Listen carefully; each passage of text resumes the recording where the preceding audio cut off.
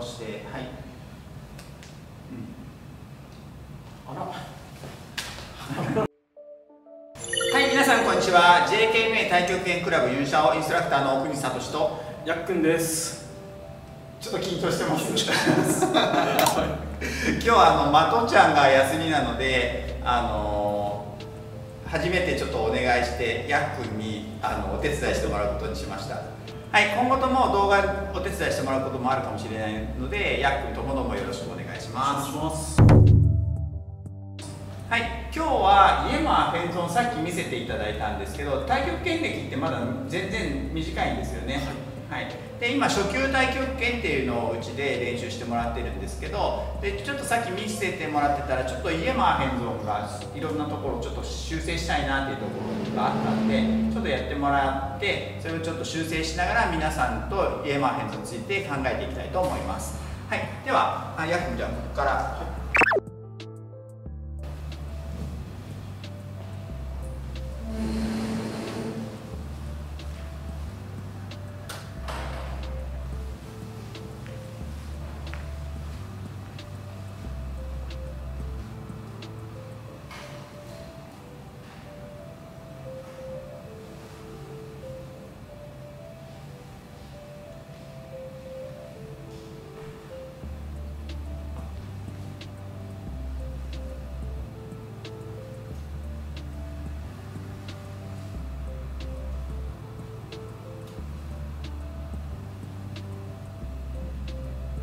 はい、OK です。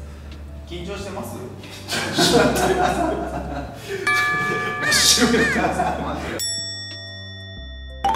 はい、じゃあちょっと今度こっち向きでやってください。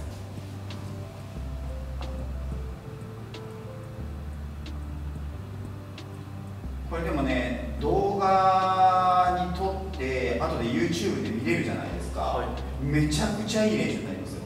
あうん、あに後で自分の復習、うん、動きも修正できるし、はい、確かに自分の動き自を分の動きもビデオで撮って直しも入ってるから最高の教材になってくると思本当ですう、うん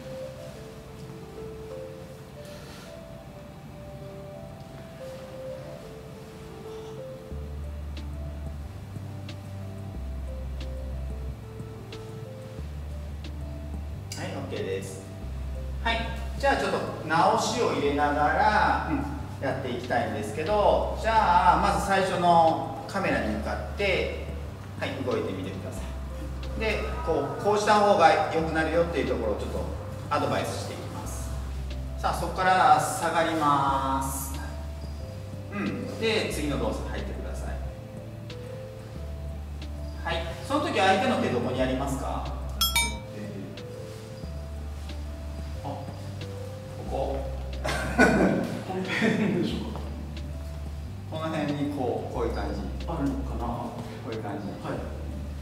一回戻ってください。で家まあベンゾン、まずこうあるときに相手の手はここ。でイメージします。はいそしたら下がる。ぐーっと。そう。それでそこから、はい、回して、うん。はい、でこの時にですね手をですね下に向けて置いてるだけでしょ。うん、でこういう時に少しですねやや外にこう張るようにします。で押してください、う、そういう感覚で少し下がったらただこう下向けて置くんじゃなくて相手の手のここにちょっと触ってるような感覚で。で払って。はい、そういったところを意識するとちょっとヤックのこの上の手かっこよくなってると思うんですよ。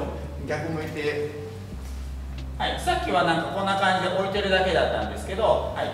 こうぐーっと押すのイメージして、うん、そうそう。まあまああんまりやりすぎてもあれなんですけどあ指の間を開いてはい。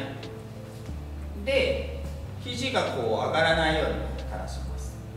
こういう感覚で腕のここの内側手のひらから肘のところまで使って少しこう外へ向かって張り出すような力が出るようにしますね。うんそうそうそう。はい。の手は上の手と同じ位置あんまりこう今度押しすぎたら自分のここう防御の手が散ってしまうのでこのくらいで合わせます。はい次どうぞ。はい。でここから今や焼くのは手と足が同時に動いてるんですけどこの時って足が宙に浮いてるじゃないですか。あの水手子供たちによく水手とかやらせるんですけどちょっとで水手やらせる時に相手が大きくて小さい場合は片足でやらせるんですよ。で片足上げてください。でどっちが強いですか？もう圧倒的に不利ですよね。で今片足でやったってことはあ片足でこうやって手が動いてる時ってめちゃくちゃ弱いわけですよ、うん、だからはいこっちに戻ってください。ボール抱えますよね。ボール抱えたらそこから足出す時はそのままこう守っときます。そう。でこれはい忘れてますよね。あのそう。最初のその張ってる状態をキーで足を相手の足のそう外側に、うん、でこの時に腕ここ今腕で押そうとしてるんですけど腕の力は使わないようにここの肩甲骨から肘がぐーっと沈んでリラックスしてる状態、うん、でこういうふうに払います。あまりやりすぎるのでここでこう今ぐーっと力入れてるからこういうふうに張っちゃってるんですけど肘は基本的にダラーンとして腕の力は使ってないけど意識意識的になんかこう体のエネルギーが外へこう張り出してるようなイメージ。もちろんあくまでにこうリラックスしてる状態でキープします。ちょっとね 力がめちゃくちゃ入ってるんですけど入れないようにこういうふうにします。で足をつくとこまでは手を動かさないようにします。はい。でそこからはいはい。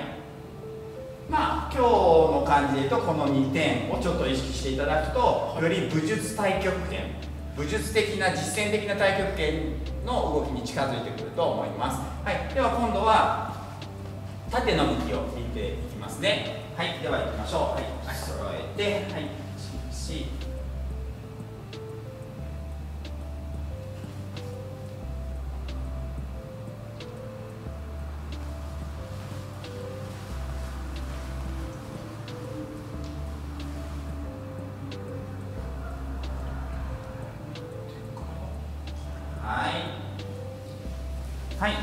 ですよもう一回いきましょう。では縦の面のアドバイスをちょっとやっていきます。はいもう一度やってください。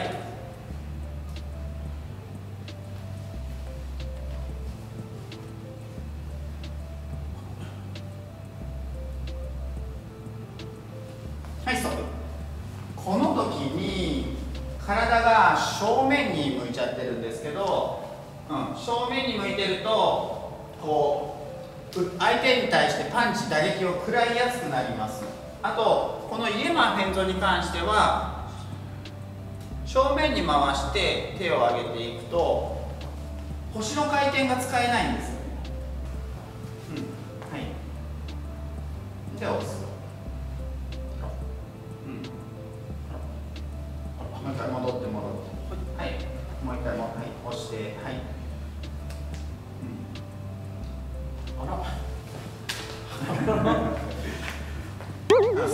そう。体正面に向けて払い上げていくとちょっと腰の回転が使えないんですよ。だからこう斜めの状態から体開いていくこう回してからこう手をまっすぐ出すんじゃなくて少しこのくらい腰を回しながらやや半身の状態で出ていきます。はい。やってみてはいじゃあちょっとそこ修正してやってみましょう。バオチューシーブ巨歩になります。はいそこからちょっと腰の回転入れながらはい押してください。いやいや今それ先に回ってるでしょ、はい、体重を移動させるます。体ごとぶつかってくる。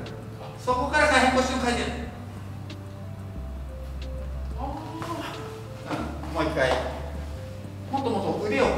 こう全全体を膨らましていく。はい。下げて自分のはい自分の体重使って押して。はいどうぞ。違う違う。今のは体重こうやって体の位置を体の位置を変えてここで腰を回そうとしてるんですよ。それだともう体の力バラバラになっちゃうのでここからこの蹴る力とで腹のこう練り。蹴る力と腹の練り。それから腕が伸びていく力。これを全部合わせて3つの力を合わせてこう。はい戻して。はいどうぞ。膨らむここ上げな。がら、そういうふうにやってみていくといいかなと思います。はいじゃあもう一回正面向きをもう一回やってもらいます。はい。家間変造から。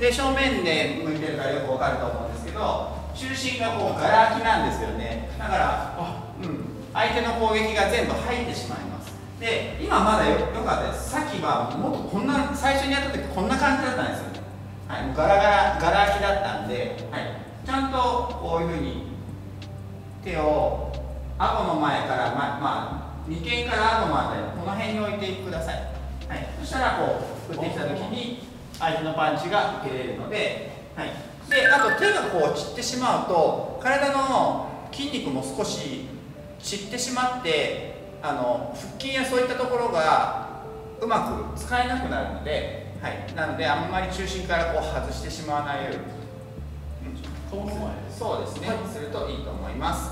はい。じゃあ収めましょう。はい。ということで今回はイエマー変存約2アドバイスすることで、まあ、教室形式で練習してみましたでこんな感じで岡山姫路倉敷神戸などで練習してますのでもしよかったら一緒に体育兼練習していきましょう。今日初めて動画で出てもらったんですけどどんなどうでした？緊張しました？真っ白の真っ白。ずっと真っ白で。ちょっと真っ白。動画上がった時に、はい、勉強させていただきます。はい、はい、まあ、またぼちぼち慣れて一緒にこういい動画撮っていけたらいいかなと思います。はい、では今日の動画は以上になります。最後まで見ていただいてありがとうございましたはい、ありがとうございます。